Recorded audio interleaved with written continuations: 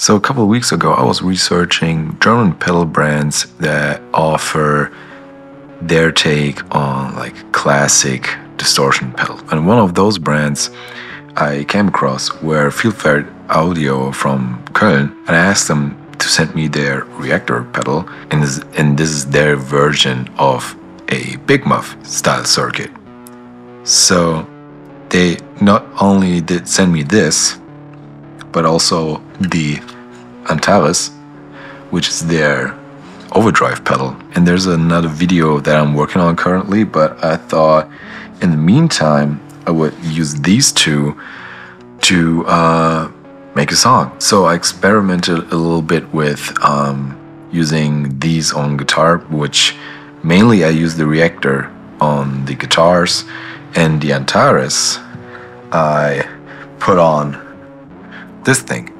So this is uh, my Maschine Plus, and um, so I use the Antares on, and I use the Antares on all the drum parts in the uh, track, and I think it's it, it really shows how you can manipulate your drum samples to have you know a little bit of a grittier vibe to them.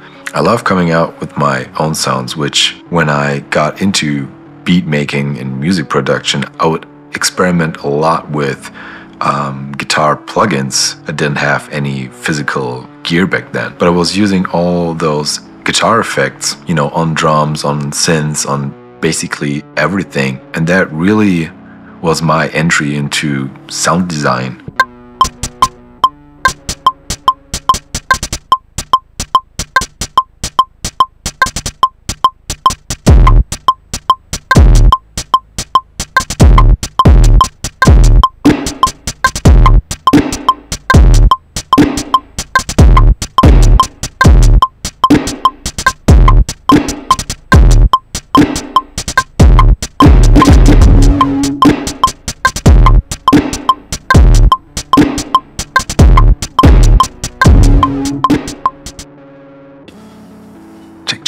Check, check, check, check, check, check, check. Also, this was kind of a test run for potentially streaming. I realized it, it was far more complicated recording the music and also trying to do commentary. Um, maybe I, I, felt particularly anxious uh, about doing creative work, and uh, so I apologize for the kind of awkward silence on, on my behalf.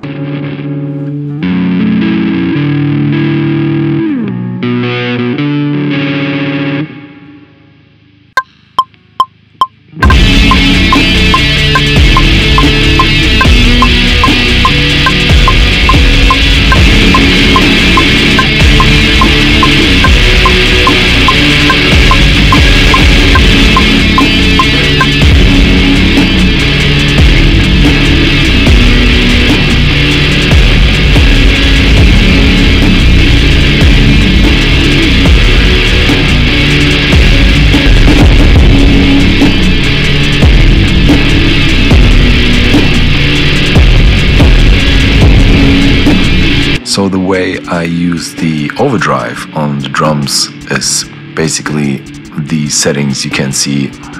You can see right here. A lot of level lots of low end for the kick especially highs for the pronunciation and not so much gain but more so the the high end to make the drums pop out more. And also I experimented with the fat and clear switch to get different kind of sounds, which I thought, which which cleared out a lot of mud.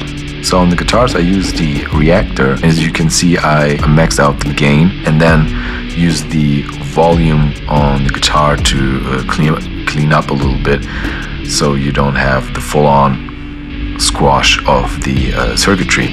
Also, I used the scoop knob on the leady sort of uh, layerings uh, at the end, I was very pleasantly surprised how I could use, you know, both these pedals for different applications and get the sounds out of them that I did. So Thanks again for Fieldfare Audio for sending these over. I'm not getting paid to do this video. I asked them to send me their pedals uh, for this test. If you're interested, go check them out. I will have their uh, links down below. Thanks for watching. I'm Melih Kaleciklioglu and I will see you real soon.